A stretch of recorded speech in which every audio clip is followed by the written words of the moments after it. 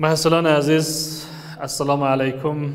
ادامه بحث مفاهیم و ساختار زبانهای برنامه نویسی شیگرا در زبان برنامه نویسی جوا هستم.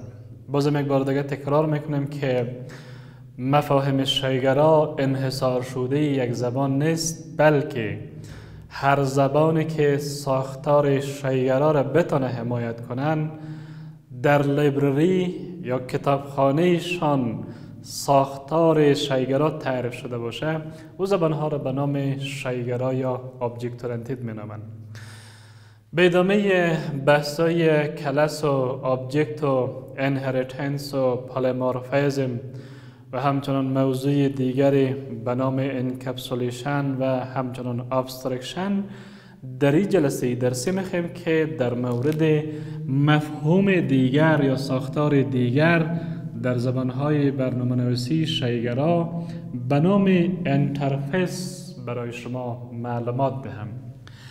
interface یکی از مفاهیم کاربردی در زبان برنامه نویسی جاوا هستند. شاید در زبان های دیگر مثل Python، C Sharp، C plus plus و ده ها ها زبان های برنامه نویسی دیگری که در دنیا وجود دارند احتمالا که interface در اونجا نیست یا مفهومش متفاوت هستند. وقتی ما در اینجا به interface صحبت می‌کنیم هدف ما از میانجی یا روابط بین دو شی یا دو شخص نیست بلکه interface در اینجا یک ساختار هست که در داخل library زبان برنامه نویسی جاوا تعداد زیادی از فایل های وجود دارند که به شکل interface تعریف شده هستند. یعنی library جاوا را اگر تعریف کنیم که مجمعی از کلاس ها و مجمعی از interface ها هستن هم درست هستند به خاطر که تمام فایل هایی که در آنجا به شکل predefine ذخیره شدن یا کلاس است یا interface است. یا کلاس است یا interface است. از دو لیول یا از دو concept خارج نیستند پس interface در جاوا از خود کاربرد خود تعریف خود داره و کلاس در جاوا کاربرد یا تعریف خود می داشته باشه. پس interface میایم به شکل مفصل در مورد معرفیش می‌پردازیم بعد در مورد ساختار و همچنان متدها و بخش های دیگری که در interface موجود است اونا را برای شما بحث خواهیم کرد. interface یک ساختار است که در زبان برنامه نویسی جاوا استفاده میشه. در زبان برنامه نویسی دیگر احتمالا که این مورد وجود نداره. و هدف از interface هستن که برای multiple inheritance ما استفاده می‌کنیم. قبلا در مورد inheritance صحبت کردیم که یک multi level داشتیم یک single level داشتیم. اما یک بحث دیگری هم در اینجا مطرح میشه به نام multiple inheritance یعنی که inheritance ی هستن که یک child یا یک سب کلاس بتونه از چندین پرن کلاس انهریتنس بگیره ارث بگیره. خب از لحاظ منطق بشری ما را نمی‌تونیم در جامعه بشری تطبیق کنیم مثل که یک فرزن از چندین پدر یا چندین والدین ارث ببره چون وجود نداره یا نیست. اما در زبان های برنامه نویسی ساختار وجود داره و این کاربردی هستن. و در اینجا multiple inheritance مکانیزمش چگونه هستن؟ طوری هست که ما چندین کلاس parent داشته باشیم. یک کلاس parent اینا باشه یک کلاس parent اینا باشه و یک کلاس parent دیگه اینا باشه. تعدادشان محدود نیستن. می‌تونیم که چندین کلاس parent داشته باشیم. و یک کلاس می‌تونیم به نام کلاس parent یک نامگذاری کنیم. و یه می‌تونیم به نام کلاس parent دو نامگذاری کنیم. و یه می‌تونیم به نام کلاس parent سه نامگذاری کنیم. بعد در اینجا می‌تونیم یک child داشته باشیم یک کلاس child و برای وقتی که child باشه نیاز نیست که یک و دو داشته باشیم. پس این کلاس child می‌خواه که از سه تا کلاسی که در اینجا وجود دارن از هر سهشان به طور همزمان inheritance داشته باشه. به این شکل. و از اینا هم inheritance داشته باشه. به شکل. پس وقتی که ساختار کود به شکل نوشته می‌کنیم این به نام multiple inheritance مینامن یعنی یک child می‌تونه که از چندین کلاس parent برای خود ارث بگیرن. و یا یک کلاس sub می‌تونه که از چندین کلاس سوپر برای خود inheritance بگیرن. قبلا صحبت کردیم که در single level inheritance و در multi level inheritance بحثای داشتیم. اما در مورد multiple inheritance صحبت نکردیم اونقدر با تفصیل. دلیلش است که در زبان برنامه‌نویسی جاوا کلاس قادر نیست که کلاس قادر نیست که multiple inheritance support کنند پس برای حل مشکل آقای جیمز گاسلینگ که معرف زبان برنامه نویسی جاوا هست او ساختار دیگری را در library تعریف کردن که او ساختار را به نام interface نامیدن. پس در interface دانستن که این مفهوم multiple inheritance به شکل درستش در اینجا تعریف کنه و از او بتانیم که استفاده کنیم. ای مشخصا معلومات در مورد interface و کاربرد interface در زبان برنامه نویسی جاوا. خصوصیات متحول و همچنان متد ها در interface چگونه هستند؟ بهتر بگوییم که variable ها رو چگونه می‌تونیم تعریف کنیم و متد ها رو چگونه می‌تونیم در interface تعریف کنیم؟ متحول هایی که در یک interface تعریف میشه اونا به شکل default چند خصوصیت می داشته باشه یک از خصوصیت هایش است که اونا final هستن و دیگه خصوصیتش است که اونا می‌تونه به شکل استاتیک باشه و دیگه خصوصیتش می‌تونه که اونا به شکل public باشه. اینا هر کدامش یک مورد هستن. می‌تونه که final باشه استاتیک باشه و public باشه. به شکلهای مختلف. در اینجا public access specifier هستن. static access modifier هستن. متفاوت هستن و final هم از جمله بخشای access modifier هستن. پس اینا رو می‌تونیم در کد بیشتر توضیح بدیم. خب در متحول ها یا variable ها این سه مورد قابل استفاده یا قابل کاربرد هستند می‌تونه که یک variable به شکل final تعریف شود. می‌تونه به شکل استاتیک تعریف شود و می‌تونه به شکل public تعریف شود.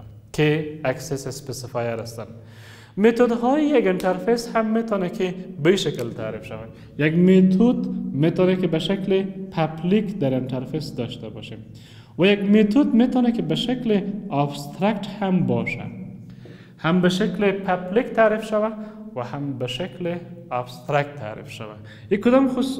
مربوط کدام concept است؟ مربوط متد هستند یعنی متد ها رو می‌تونیم هم به شکل public داشته باشیم و هم می‌تونیم به شکل abstract داشته باشیم. که قبلا در مورد abstract method به شکل مفصل در بخش abstraction به شما صحبت کردم. وقتی متد ها متحول های یک interface public تعریف گردد توسط کلاس قابل استفاده هستند زمانی که متد هایشان ما تعریف کنیم به شکل public باز بین interface و بین کلاس رابطه باید وجود داشته باشه. زمان کلاس ها می‌تونه که از متد های interface استفاده کنه دو دسترسی داشته باشه که access specifier شان به شکل public باشه. متد ها در interface با کلمه کلید abstract هم تعریف میشه. می‌تونیم که هر زمانی که متد تعریف کنیم متد abstract قبلا در بخش abstraction تشریح کردیم. با keyword abstract یک متد می‌تونیم تعریف کنیم. میشه بنویسیم که abstract و متد دقیقا دارای return type هستن. return type از اینا رو نویسیم و بعد از اینکه return type نوشتیم نام متد نویسیم یا به نام method name در اینجا مشخص می‌کنیم. brace بسته و آخرش قوس باز و بسته و در آخرش هم semicolon به این معناست که نوع تعریف متد در interface این گونه هستن یعنی می‌تونیم که با keyword abstract متد ها را در اینجا تعریف کنیم. این خاصیت variable ها و متد ها که در اینجا دو تا ستون داریم یا دو تا موضوع داریم در interface می‌تونه که variable ها به این ساختار به این گونه باشه و می‌تونه که متد ها به او ساختار یا به او شکل باشه.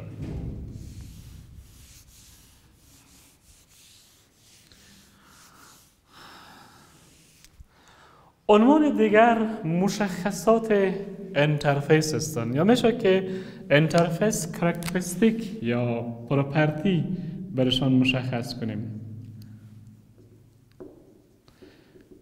interface characteristic یا مشخصات interface چگونه هستند؟ interface به شکل پیشفرض یا به شکل default abstract است. چه نامشان در اینجا abstract بنویسیم چه ننویسیم؟ خصوصیت interface است که با keyword interface معرفی میشن و قبل از این به شکل default یا به شکل abstract وجود دارن. یعنی اگر بنویسیم هم abstract است اگر ننویسیم هم به شکل default abstract است. پس نوشتن abstract قبل از نام interface نیاز نیستن و خود interface یک keyword هستن. همچنان keyword هستن که توسط از می‌تونیم نام interface مشخص کنیم. اون گونه که ما نوشته می‌کردیم کلاس اما در بحث interface به جای کلاس نوشته می‌کنیم interface. و در اینجا هر نامی برای interface مشخص کنیم می‌تونیم در اینجا بنویسیم و برای کلاس می‌تونستیم در برابرش بنویسیم. پس interface به شکل default یا پیشفرض abstract است و هیچ نیاز نیست که abstract قبل از نامش بنویسیم. متد های interface نیست به شکل پیشفرض abstract است. هر متدی که در interface تعریف می‌کنیم interface هم دارای block هستند brace باز میشه و متد هایی که در اینجا تعریف می‌کنیم دقیقا به متد خود باید return type داشته باشیم و بعد از اینکه return type در اینجا می نویسیم method name هم باید داشته باشیم. و به شکل پیشفرض یا به شکل default در اینجا متد abstract تعریف میشن. نیاز نیست که keyword یا کلمه abstract در اینجا نوشته کنیم. هم interface به شکل default abstract است و هم متدی که در interface تعریف میشه به شکل default abstract است. خاصیت دیگرش چی است؟ خاصیت دیگرش است که متد های interface به شکل default public هستند یعنی برای علاوه که ما در اینجا نمی نویسیم abstract access specifier شان هم اگر نوشته نکنیم public قبل از نامشان به شکل default یا به شکل پیشفرض public تعریف شده هستند. یعنی نیاز نیست که access specifier شان ما به شکل public تعریف کنیم. بعضی از مشخصات یا بعضی از خاصیت های interface است که بر شما توضیح داده شد. هرگاهی که شما از interface استفاده می‌کنید دقیقا مشخصاتی که ما در اینجا توضیح دادیم آنها را باید جدا رعایت کنید. یعنی interface با keyword interface تعریف میشه. interface به شکل default interface هستن. به شکل default abstract هستند و متدایی که در interface ما استفاده می‌کنیم اونا همشان به شکل default هم abstract می باشه و هم public می باشه و همچنان variable هایی که در اینجا تعریف می‌کنیم اونا هم public است هم استاتیک است هم final است. پس اینا رو چرا ما تاکید داریم؟ هر زمانی که شما کدها را می نویسین دقیقا باید این مورد به یاد شما باشه در ذهن شما باشه که ما در ساختار interface چون مشخصات چون characteristic می داشته باشیم. پس ضرورت است که مطابق مشخصاتی که در interface ما داریم کدهای خود هم دقیقا مطابق مشخصات اون بنویسیم. در صورتی که ما مشخصات نادیده بگیریم یا همچنان آنها را در وقت نوشتن کد رعایت نکنیم دقیقا کودهای ما به مشکل مواجه میشه و هدفی که برای نوشتن کد داریم و اهداف خود برای ماشین تعریف می‌کنیم به او هدف نمی‌رسیم. پس اینا موضوعات یا مواردی هستند که شما دقیقا باید اونا را بفهمین و دقیقا در موردش باید تحلیل و تجزیه داشته باشین زمانی که بخش تیوری یک موضوع به شکل درستش فهمیدن و حالت است که شما هم ساختار کدهایشان درست می‌تونین بنویسین و همچنان حالتی است که شما می‌تونین آنها را در محیط کد نویسی که ویژوال استودیو کود یا های دیگر هستن کودها رو به شکل درستش بنویسین و کودهایی که شما بنویسین ماشین یا کامپیوتر می‌تونه اونا رو تشخیص کنه و مطابق هدفتان آنها را اجرا کنه. از توجهتان تشکر.